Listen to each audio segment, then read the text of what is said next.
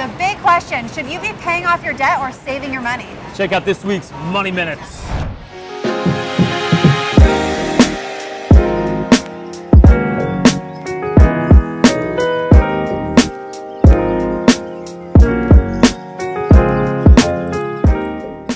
Rain or shine, we're here for you. Money Minutes, Ryan Payne, and Courtney Dominguez. How are you, Courts? I'm great, how are you? I just can't take this weather. I know. No more. I know, such an awful, ugly end of summer, but what are you gonna do? What are you gonna do? uh, but you and I were talking recently about we have a lot of people asking us, hey, do I pay off my student loans before I start saving, Yep. or my credit card or mortgage?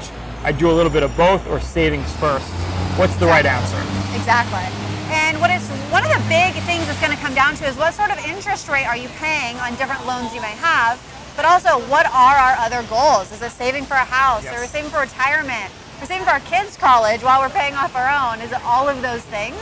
But you need to make sure you look at all these items so you can prioritize which of these is most important and where should I focus my savings. Yeah, and the other thing is, what interest rate are you paying, right? If it's a very expensive loan, you probably want to pay the loan down faster. But there's no hard, fast rule, and it's very customized. And ideally, you're probably going to do a little bit of both. You're going to be saving, but also paying debt down at the same time. Exactly. Yeah. So we've created a budget. You guys can click on the link below to get to that so we can really figure out what are my payments I need to be making. And then from there, what should I start to prioritize of paying down debt versus um, longer term goals that we might have. Yeah. And also click below. You can contact Ryan or I and we can make a personalized plan for you to make sure you are able to meet those goals.